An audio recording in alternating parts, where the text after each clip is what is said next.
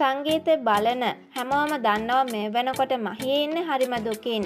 මොකද තමන්ගේ ආදරේ තමන්ගෙන් ගොඩක් ඈතට ගිහින් තියෙන නිසා. ඉතින් මේ දේට සම්පූර්ණයෙන්ම වග කියන්න ඕනේ කෙනෙක් විදියට.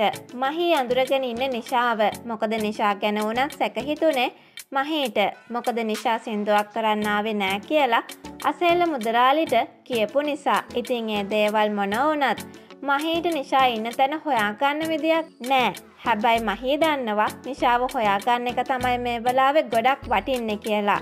මොකද අසේන ඉන්න තැන හොයාගෙන ගිහින් හරි හැමදේම පැහැදිලි කරලා දෙන්න මහීට මේ වෙලාවේ නිෂා වටිනවා. ඉතින් ඔහොම ඉන්නකොට මහීට දවසක් නිෂාව පාරදි හම්බ වෙනවා. අර එදා මහී හොටෙල් එකේ අයට බැන්න වගේම නිෂාටත් බනේ කියලා හිතන්න පුළුවන්. හැබැයි මහී හැම තැනම යන්නේ පොලා එක්ක නිසා පොලා ඉඩක් තියෙන එකක් නෑ මහීට නිෂා එක්ක රණ්ඩු වෙන්න.